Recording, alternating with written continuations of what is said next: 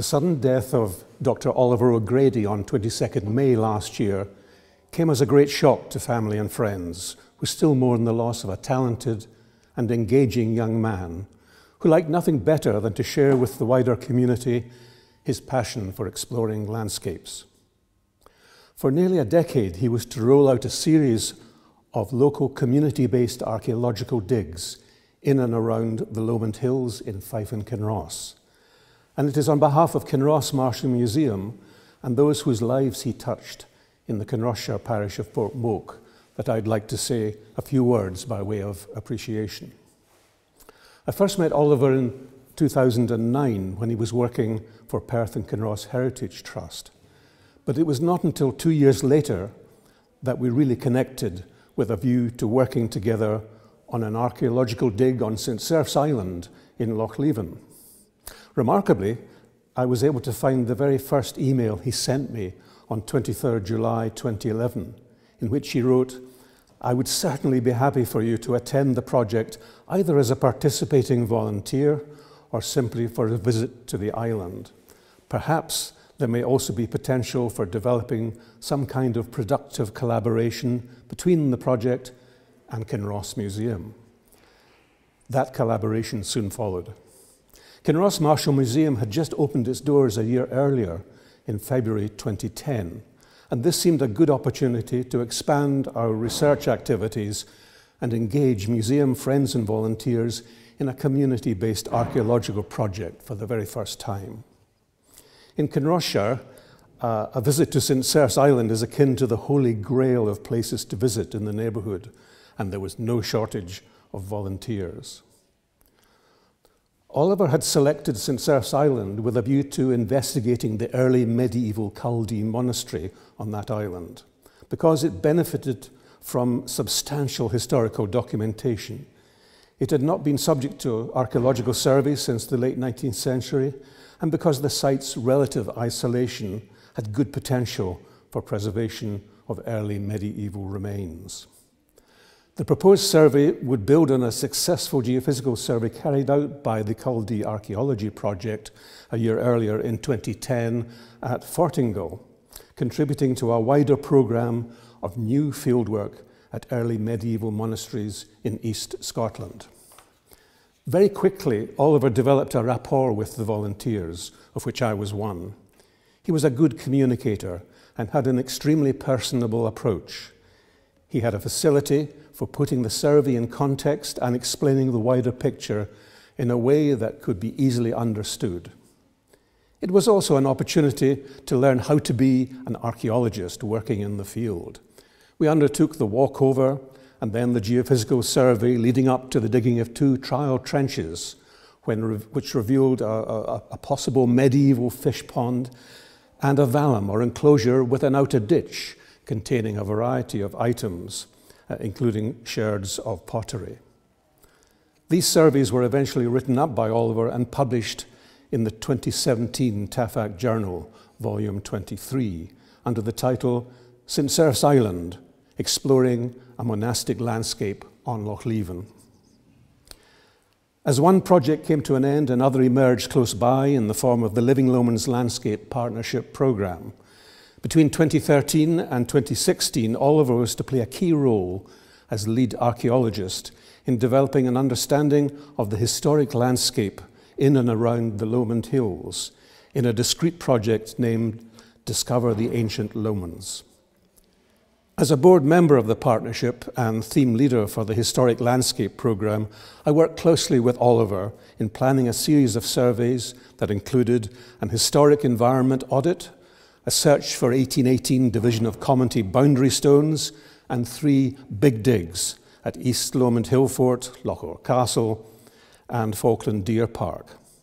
In addition, we organised a series of walks, talks, and workshops engaging experts with communities in Fife and Kinross, stimulating an interest in exploring and caring for local landscapes. An imaginative open day at Lochore Castle, devised by Oliver, brought people from nearby communities such as Ballingry, Cross Hill, and Lochore uh, uh, uh, to engage in activities that included uh, medieval style uh, sword fighting and cookery, uh, and also parchment making and medieval writing. There was something for everyone. The restoration of the castle and the telling of the castle story have been much appreciated by the local community, who see Loch Castle as part of their special landscape, and Oliver as a good friend who helped make it happen. In addition to all of these activities carried out under the banner of Discover the Ancient Lomonds, there were written numerous detailed reports as well as attractive and informative publications available to the wider community.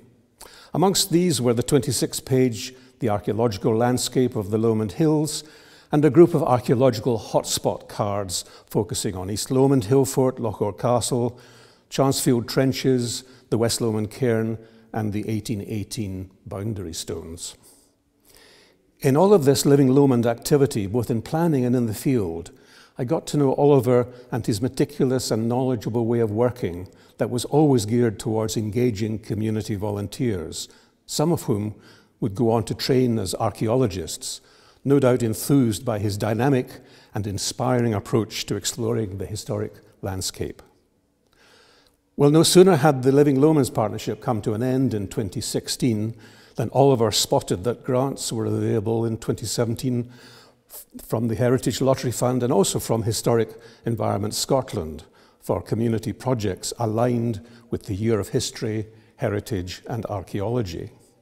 Undaunted, we submitted an application for a project focused on the Kinross parish of Portmoak, and two awards were made. Straight away, we were into another packed year of storytelling and archaeology, the latter, of course, being led by Oliver.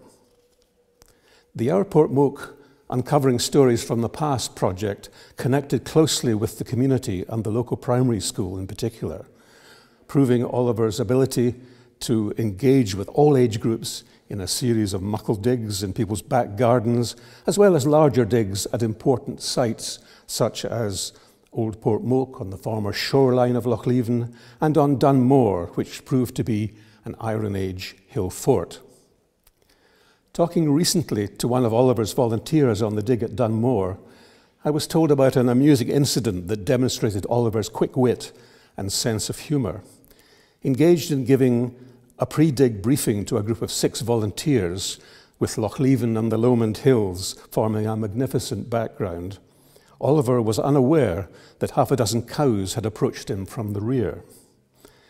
They stood seemingly engrossed in what he had to say.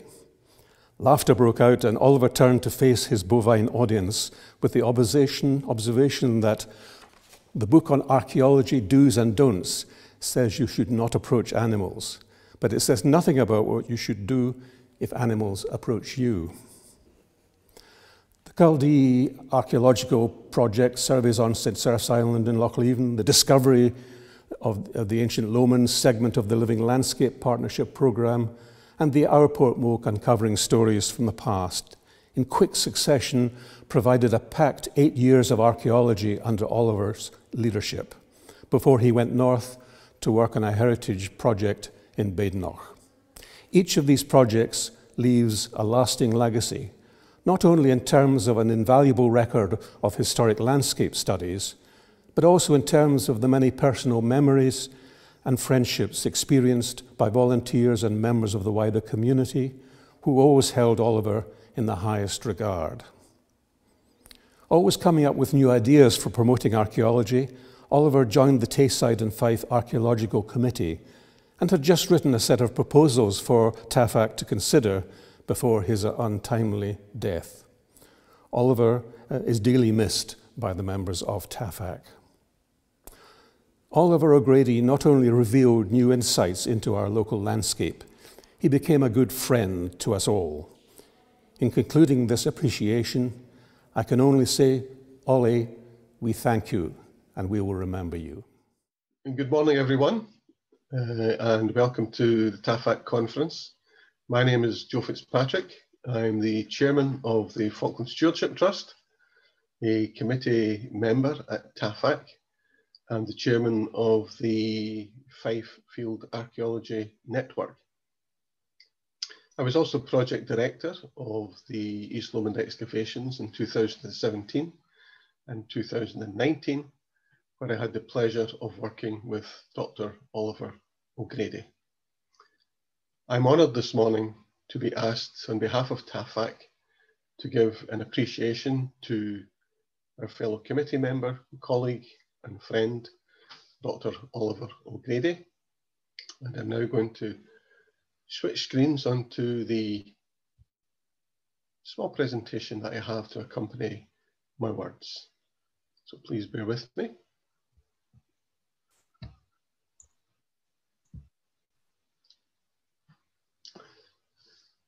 An appreciation of Oliver. Oops. Oliver's loss to the world of archaeology and to family and friends in May last year was sudden, unexpected, and traumatic. It was traumatic for a lot of people. Many of us were stunned and shocked, and still today, in November 2021, cannot quite grasp the reality of that loss. I was privileged to work with Oliver on all three excavations on East Lomond, which sits within the Falkland Estate. And our paths first crossed in 2014, just prior to my own retirement after 36 years working in local authority education and community services. From early on, I recognised a fine mind, sharp, inquiring, eager to investigate and challenge. That was combined with an infectious enthusiasm for his subject, archaeology. And that infection was combined with an all too rare ability to communicate his knowledge and enthusiasm very effectively to others.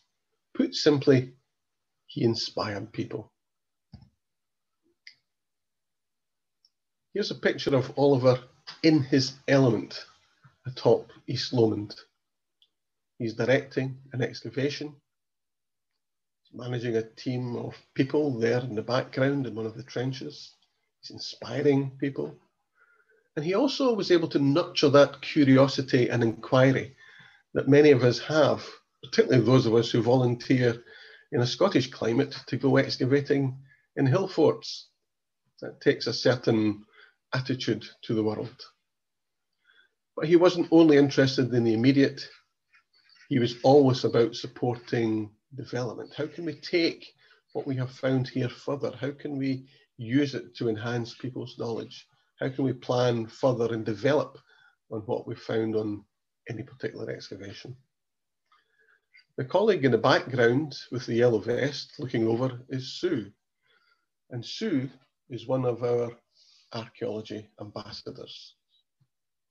And here is that team of ambassadors pictured with Oliver. Us were inspired by Oliver, and this picture is taken uh, of the team at the stables on the Falkland estate. This is a group of very experienced excavators who were trained to undertake higher level responsibilities on digs, often taking responsibility for other volunteers or school groups. And some of this team went on to study university level archaeology courses and I know Oliver was extremely proud of that. And although Oliver enjoyed working with groups, he also had the patience and the skill to engage and support volunteers on a one-to-one basis. And here he is explaining scanning techniques to Christy on the East Lomond uh, Hill prior to the 2014 excavation. This exercise helped us to pin exactly where we would put our trial trenches, which in time would prove to be the basis for some very exciting archaeology. We came back to this site on the shoulder of East Lomond, outside the scheduled monument area, in 2017, where we did some filming of the excavations we went back to a particular trench of great interest from the 14 dig. And under Oliver's expert guidance, we carefully excavated a 10 metre by 5 metre trench, layer by layer. It was a revelation. From 7th century early medieval material at the top level, down to late and then to early Roman periods, on through Iron Age metalworking sites, and in the last few days of the dig, the discovery of a collapsed Bronze Age kist. It was an experience under Oliver's leadership that none of us who took part will ever forget. Oh, oh, oh did I, did I mention the five stacked hearths with possibly more beneath those that we also found? An extremely rare find for any Scottish Hillfort site. The upshot of all of that was that our filming was chosen as one of the digs to feature in the BBC's Digging for Britain programme, Series 6 North. This slide is of Oliver preparing in the studio before our 50 minutes or so with Professor Alice Roberts.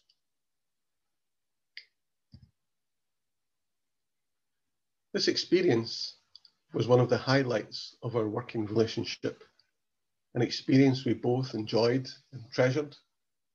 And we also believed between ourselves that it was unlikely to be the last time that the spotlight of national attention would be focused on the archaeology of East Lomond.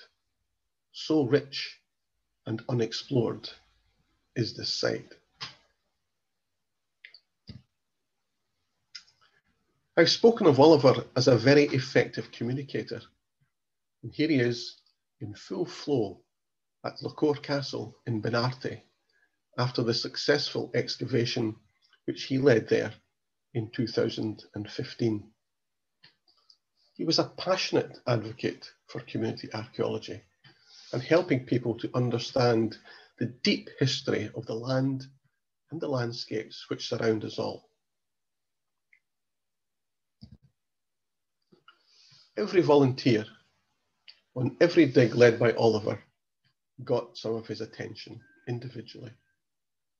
He was supportive, encouraging, and always ready to engage with the thoughts and the theories of others. He even developed that highly prized skill of every good archaeologist, the art of letting you down gently. You can picture the scene when the interesting looking artifact which you've spent precious time on, cleaning away the surrounding soil and calling over the archaeologist convinced that you have the find of the day, only to be told it's just another stone. This slide is clear evidence of Ollie's ability to inspire others. It's raining We've cancelled the dig for the day. The cloud is so low you can barely see 10 metres in front of you. Never mind the hill behind where you've been excavating, which has disappeared. But is anyone in this group not smiling? They went off up the hill with Ollie to do some drawing and recording on a day when most ordinary mortals would prefer to be at home with a hot chocolate and a good book. It's the kind of inspiration which generates loyalty and a willingness to go the extra mile. This is how I will remember Oliver, my good friend and close collaborator on East Lomond. Warm, infectiously enthusiastic, someone with integrity, highly skilled and knowledgeable in his field and with a humanity and a set of values which endeared him to all of us at Falkland. I was privileged to have known him and to have worked with him. The Falkland Estate, in collaboration with Oliver's family, have commissioned a beautiful oak bench, Ollie's bench, to commemorate the man. It was unveiled to guests in the last couple of weeks, and it will sit beside the Trust headquarters on the estate, looking up to East Lomond. He will forever be part of the foundation of that evolving archaeological story. Thank you to my colleagues on TAFAC for affording me this opportunity to share something of the calibre of our sadly missed colleague with all our conference participants. It is right that we mark his passing. Scottish archaeology has lost a special talent, and now we must attempt to build in the legacy which Oliver has left to us. Thank you. I'm now going to hand over to Professor Gordon Noble of Aberdeen University, who is going to be talking to us about another Hillfortin Fife, Clatchard Craig. Gordon.